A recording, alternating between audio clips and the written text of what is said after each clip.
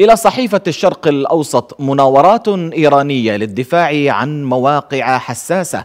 أنهت القوات المسلحة الإيرانية مناورات للدفاع الجوي عن مواقع حساسة قد تكون هدفا للهجمات المعادية حسب ما أعلن رئيس الأركان محمد باقري. وشاركت في التمارين وحدات الدفاع الجوي التابعة للجيش الإيراني والحرس الثوري وشملت تدريبات أيضا محاكاة لمواجهة طائرات مسيرة وصواريخ كروز.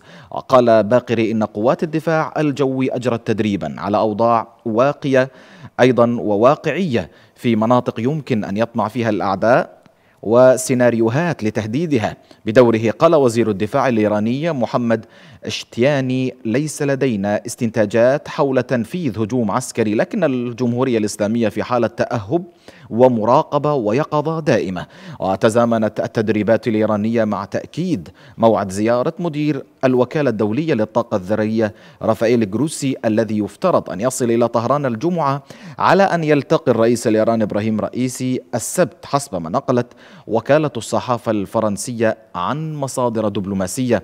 وتتصدر أجندة جروسي في طهران استفسارات حول عثور المفتشين الدوليين على يورانيوم مخصب بنسبة 84 في منشأة نووية في أحدث نقاط الخلاف المتراكمة بين الطاقة الذرية وطهران وقلل رئيس المنظمة الإيرانية للطاقة الذرية محمد إسلامي من أهمية التقارير الدولية وقال تم رصد تغيير طفيف في أحد الاختبارات لكن لم نتمكن حتى من رؤيته بالمجهر.